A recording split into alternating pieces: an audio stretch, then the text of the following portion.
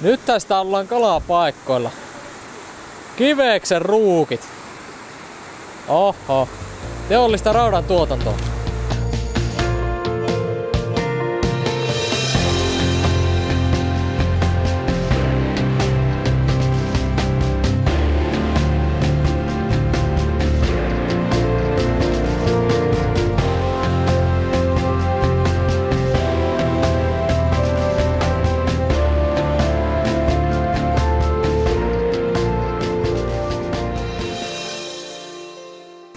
Tultiin tosiaan kalalle tänne.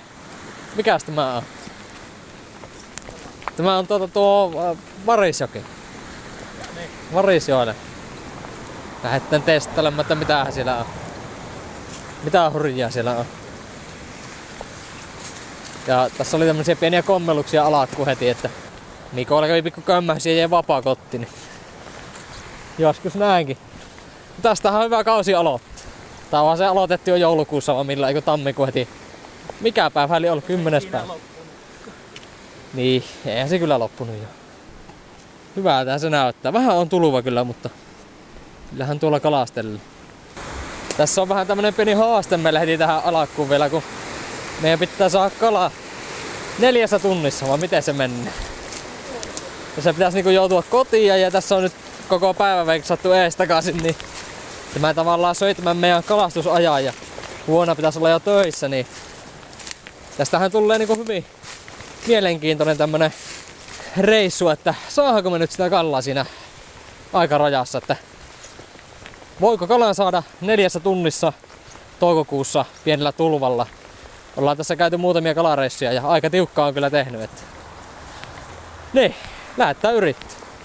Aika jokimaiselta näyttää. Joo, kyllä se joku koski on tuolla alempana vissiin vielä. No kokkeillaan tästä. Ei se muu nyt auta. Jostain se on aloitettava aina. Ja tällä kun uusille kohteelle tullaan, niin eihän sitä ikinä tiedä missä se kana on. Nythän me ollaan mestoilla. Siinä on niska. Nappahan sinä niska, niin minä lähden tuonne koskelle päin, mutta minä kyllä kuvaan ensin sinun heitot. Ihan varmuuden vuoksi. On kyllä niin, niin kuin, niskathan on kovia paikkoja, niin voisi sanoa ihan niin kuin talvellakin. Ja superi on siiman päässä. Ei näytetä kellekään. Pyörähtikö se joku perässä? Ihan tästä jotenkin isolta profiililta, vaan minä saat se perhoi, kun se vähän levähti. Minäpä menen tuohon alemmas vähän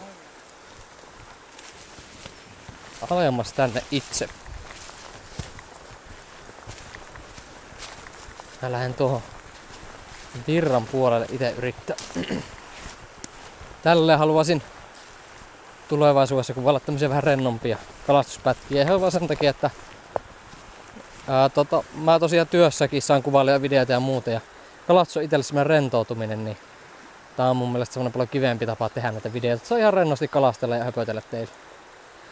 Taimen. Suomessa tavataan kolmea eri muotoa. Siellähän on puro taimen, herkkujen herkku. Joo, tietää, tietää mistä puhun. Öö, mennään tänne etti paikka. Tässä on aika hyvä heittopaikka. Pitää vaan mennä varovasti, koska kala voi ihan rannassa tähän hakkaan puessa. Niin etenkin tämmöisellä tulvalla.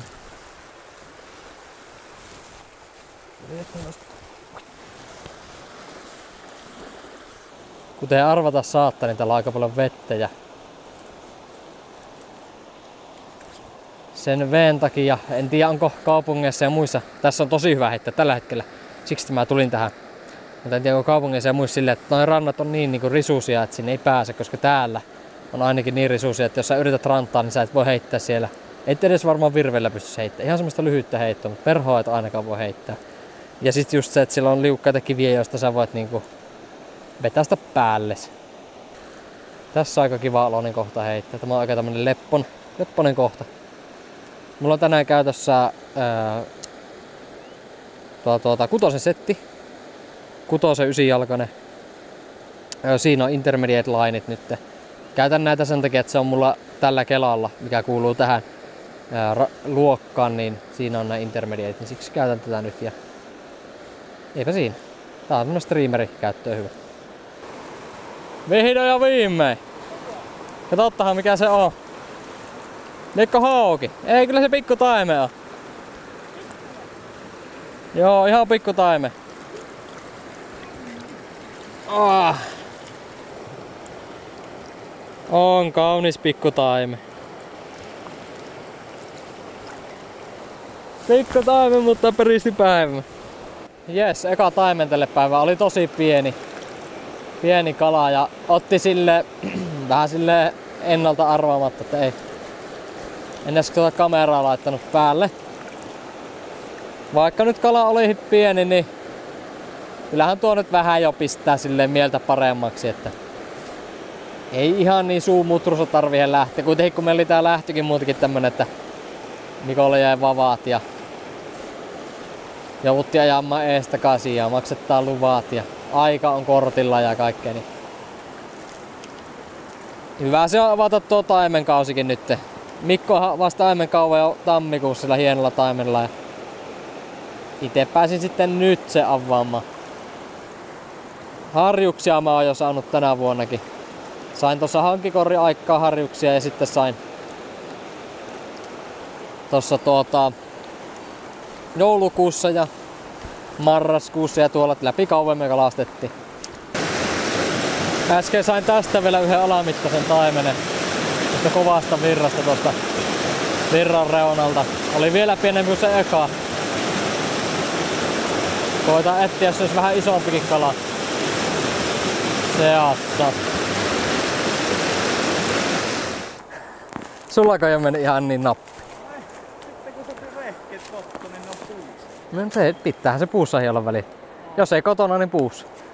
Mulla lähti ihan hyvin tää reissukäynti. Neljä taimenta on käynyt kiinni. Kaksi on käytetty yllällä ja kaksi on karkkutettu tuolta kovasta virrasta. Pieniä kaikki. Aivan siis semmosia snadeja. Joten ei mitään niinku tavallaan mainittavaa, mutta onpahan jotakin, että ei ihan, ihan ole tuota tyhjää kalastettu vaan, että vähän semmoista niinku sydämen tykytystä, että olisiko isompi. Meikä vähän levähtää tässä kohti ja jatkan kohta kalastelua. Kyllä se kala on tuolla kovemmassa virrassa, että ei se ihan löydy tuosta hittaasta virrasta. Mikolla epätoivo alkaa iskeä. On käyttänyt jo kaikki. Mennään sen olemmalle koskelle ja sitten tullessa käyt kokeile sitä kovaa virtaa. Ja pitää tulla Siinä. mikä ohi. Niin se just sitä tarkoitin. Kyllä se tuolla kovassa virrassa nyt kun jatkuu.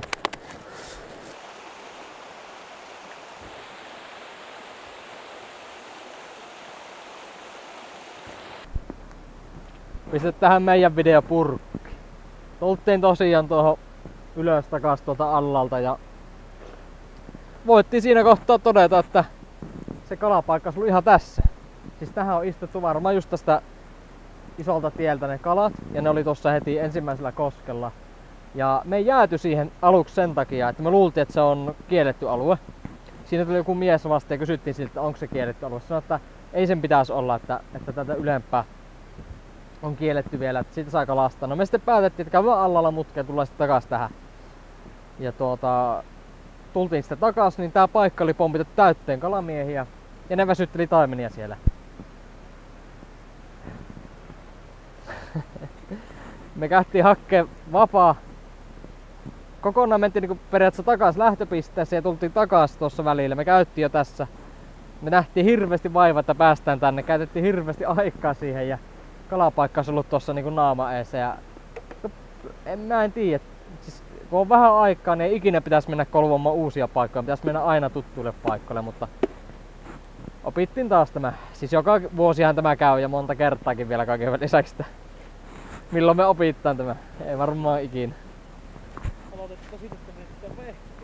Mutta ei, minä sain kaloja kuitenkin ja sinä nyt sait... Pahan miehen. Niin, sinä sait pahan mielen, mutta... Ei, Ja vehkeet loppujen. niin, no mulla meni vielä perhokin tuohon loppuun, että... Just sitoma, tänä päivänä sitoma perho, että... Niin. Mutta ei perhoja tulee lisää. Kyllä minä vähän että sulla voi ottaa vielä housutkin. Joo, meikä rupeaa kamoja kassaan ja nähdään me sitten seuraavien videoittien merkkien parissa. Ei muuta kuin visees, vai mitä sä sanot? Häh.